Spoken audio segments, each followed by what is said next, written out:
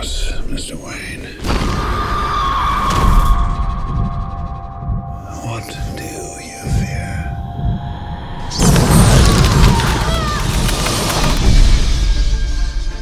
How do you know my name? The world is too small for someone like Bruce Wayne to disappear. Your parents' death was not your fault. My parents deserve justice.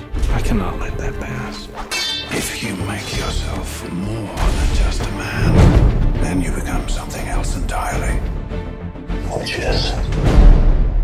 legend, Mr. Wayne. Marshal Wayne, are you coming back for long, sir? As long as it takes to show the people of Gotham their city doesn't belong to the criminals and the corrupt.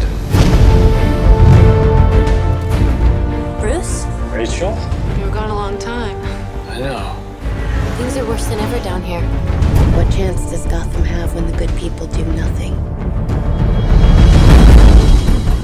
Nomex survival suit for advanced infantry. Kevlar utility harness, gas-powered magnetic grapple gun. What's that? On the tumbler? Oh, you wouldn't be interested in that. I spent a lot of time being scared for you. I heard you were back. But the man I loved, the man who vanished, never came back. He's here. Who? The Batman.